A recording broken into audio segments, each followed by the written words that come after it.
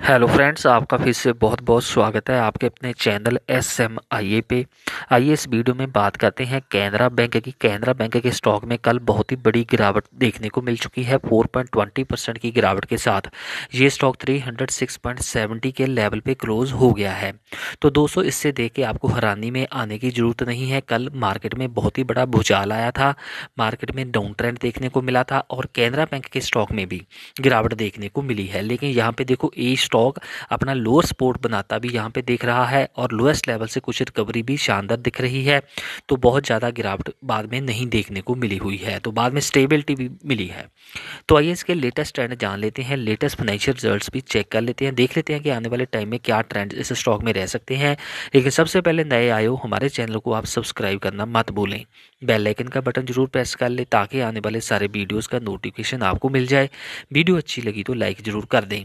दोस्तों, आइए पहले इसके स्टॉक की परफॉर्मेंस देख लेते हैं। लास्ट फाइव डेज़ में देखो 2.79 परसेंट की गिरावट चल रही है। पहले सारा कुछ अच्छा चल रहा था, लेकिन कल सडनली मार्केट में भी गिरावट हुई और इस स्टॉक में भी बड़ी गिरावट देखने को मिली है प्रॉफिट बुकिंग देखने को मिली है। वन मंथ में देख लो, पहले ये स्टॉक अपने हाइएस्ट लेवल के राउंड ट्रेड कर रहा था थ्री का लेवल इसका हाइएस्ट रजिस्टेंस लेवल है।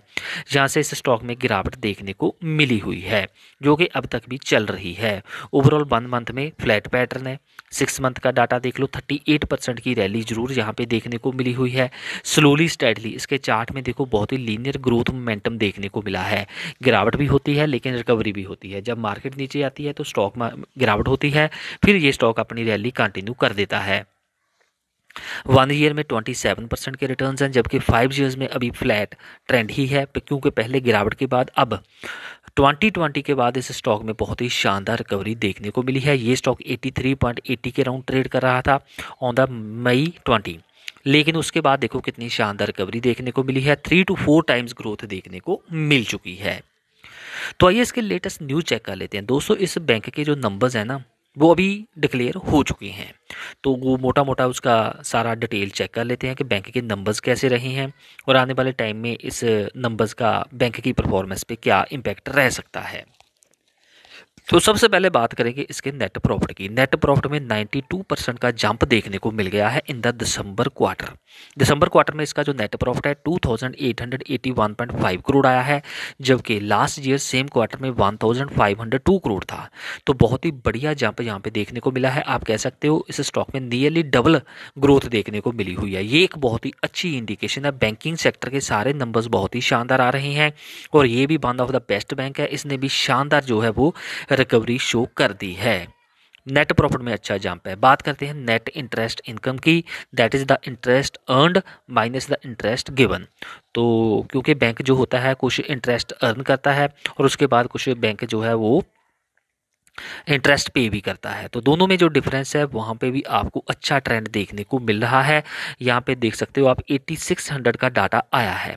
और यहाँ पे जो लास्ट ईयर था इसकी जो एन आई आई थी six thousand nine hundred forty five crore थी। तो यहाँ पे ट्वेंटी फोर परसेंट की ग्रोथ देखने को मिल चुकी है इन द एन आई आई यहाँ पे थोड़ा क्लियर नहीं है, हम यहाँ पे शो कर रहे हैं।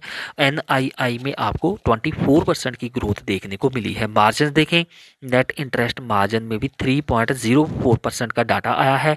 यहाँ पे भी जो है वो अच्छी इंप्रूवमेंट देखने को मिली है, क्योंकि लास्ट ईयर सेम पीरियड में इसके margin two point eighty three percent थे। तो सारे ही नंबर्स पॉजिटिव ट्रेंड शो करते दिखाई दे रहे हैं। मतलब बैंक के नंबर्स इंप्रूव हो गए हैं। चाहे आप नेट प्रॉफिट ले लो, चाहे आप एन आई आई ले लो, या फिर आप जो है वो इसके मार्जिन देख लो। तो बात करते हैं एसेट क्वालिटी की, क्योंकि यदि किसी बैंक की स्टेबिलिटी देखनी है, उसकी फाइनेंशियल कंडीशन देखनी है तो वो एसेट क्वालिटी से ही पता चलेगी।